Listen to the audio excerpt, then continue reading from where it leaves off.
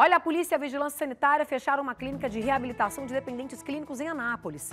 Os pacientes eram internados contra a vontade deles. Todo mundo sabe que o dependente químico, por pior que seja a situação, ele não pode ser obrigado a ser internado.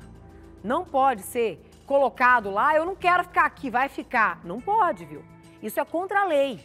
A dona desse local foi atuada em flagrante pelo crime de cárcere privado.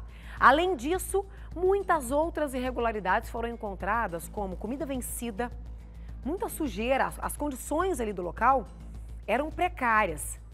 A estrutura física era precária ali do local.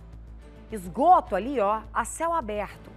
Tinha carne podre, tinha batatinha podre. Imagina só. A pessoa já era obrigada a ficar ali porque estava ali sem, sem a própria vontade. Por isso o crime de cárcere privado. E mesmo assim, ainda precisava de enfrentar essas situações. Vamos ver o que o delegado responsável pelo caso diz para a nossa equipe.